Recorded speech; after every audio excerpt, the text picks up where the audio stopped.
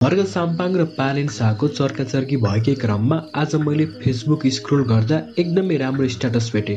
मौसम उप्रेती भन्ने फेसबुक युजरले बालेन शाहको समर्थन गर्दै एउटा स्ट्याटस लेख्नु भएको थियो। उहाँले स्ट्याटसमा लेख्नुहुन्छ एकचोटि कुकुर र हात्तीको सँगै बिहे भएछ। बिहे भएको तिन महिनामा कुकुरले चारवटा छाउरा जन्माएछ। अर्को छ महिनामा फेरि चारवटा छाउरालाई जन्म दिएछ। एक दिन कुकुरले हात्तीलाई गएर सोधेछ मैले छ महिनामा आठवटा छाउरा जन्माएँ तेरो एउटा पनि पनि छैन त। त नालायक रहेछस् भनेछ। भन्नु पनि ठिकै हो छ महिना कुकुरले आठवटा छाउरा पाइसक्यो हात्तीको एउटा पनि छैन। तर यथार्थ यो हो कि हात्ती तिन महिनामा भ्याउँदैन हात्ती दुई वर्षमा भ्याउँछ हात्तीले जब बच्चा जन्माउँछ धरतीलाई पनि थाहा हुन्छ। धरतीले पनि ओजनको महसुस गर्छ। हो बालेन त्यही हात्ती हो। सरर र मोटर चढेर टेलिभिजनमा अन्तर्वार्ता दिएर श्रमदान गरेर काठमाडौँको ओजन उठाउन सकिँदैन।